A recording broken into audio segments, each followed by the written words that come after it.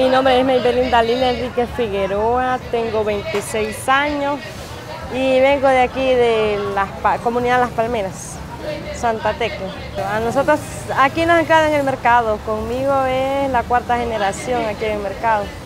Mi abuela, la bisabuela, la abuela, mi mamá, desde más antes, porque la tatarabuela en el mercado cría a, mi, a, la, bisabuela, la bisabuela, mi abuela y mi mamá también aquí nos han criado. Aquí, aquí las han criado a todas ellas. Y tengo una sobrina que aquí trabaja también.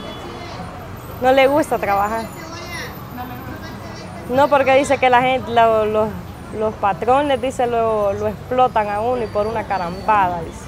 Primero le doy gracias a Dios, de ahí me levanto a bañarme, salgo, alisto al niño, salgo a comprar la venta al centro.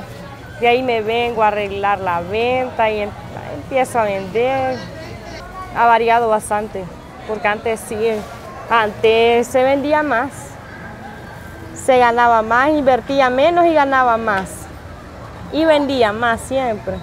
Imagínense que, bueno, yo para mí trabajar. A nosotros siempre nos han enseñado a trabajar desde chiquita.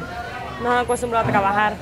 Yo siento que si yo no trabajo, yo me siento, como le dijera, no me siento así, no me siento bien, pues, si no trabajo. Yo, yo todo el día, me, a mí siempre me ha gustado trabajar.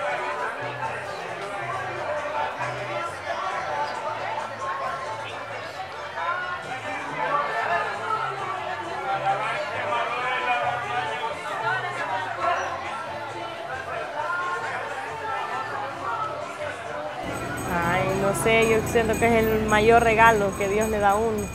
Sí, porque, bueno, con un niño siento yo que no cuesta, pero ya teniendo más, sí, porque hoy todo tan caro y hay que estar pendiente de uno y de otro, que uno va al kinder, que el otro va a la escuela y así, entonces es bien difícil eso. Que cuando se enferman, eso. ¿Qué le doy, amor?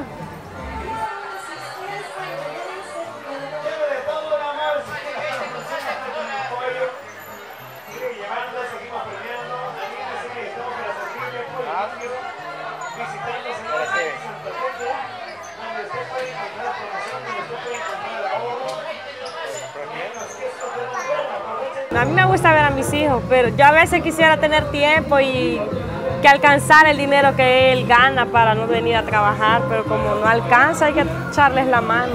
Yo ahorita no he descansado porque como fíjese que el niño, por los casos de la escuela, ajá, entonces yo digo, un día que pierdo para mí es una gran pérdida, así como está ahorita. Más que dicen que hoy no va a dar el cuaderno el gobierno, ni, ni zapatos, a ver si hay que comprarle todo. Por eso me esfuerzo para que mi hijo vaya a estudiar. Ay, yo quisiera lo mejor para ellos, quisiera que fueran abogados, que tuvieran una carrera.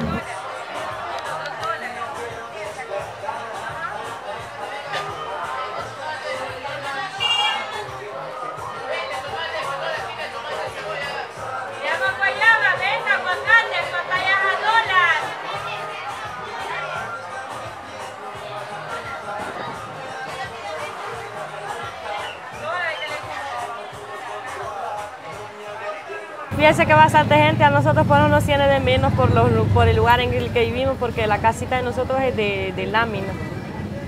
Pero yo siento que uno media vez viva feliz y no ande en nada. Yo digo que vive bien feliz uno, sea como sea. Yo me siento bien. Ahí nadie, nadie anda peleando, cada, ahí ni sale la gente. Si hay vecinos, por ejemplo, yo a veces la voy así en la calle dejo la ropa tendida desde la noche y ellos cuando a veces que, que de, invierno y llueve, ellos me la den, cuando yo llego ya me la han entrado, la vecina me dice, mira, y déjeme unas dos capitas del niño chiquito y se lo voy a lavarme, vaya. Se llevan bien los vecinos con uno.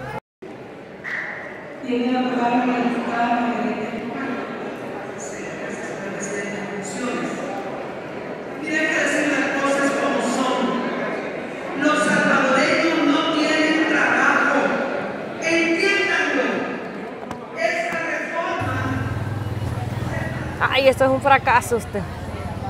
Un fracaso total. Corrupciones desde los mayores, viene la corrupción hasta los más. Pensando en cómo está la situación, más que toda la situación económica aquí en el país va, porque los gobernantes y todos ellos dicen no hay dinero, no hay dinero, pero ¿cómo va a ver si ellos se lo roban? Tantos millones, mire Flores, tantos millones que se robó igual que saca y con meter los presos quieren solucionar las cosas. Que le devuelvan el dinero al pueblo y hay que muera todo.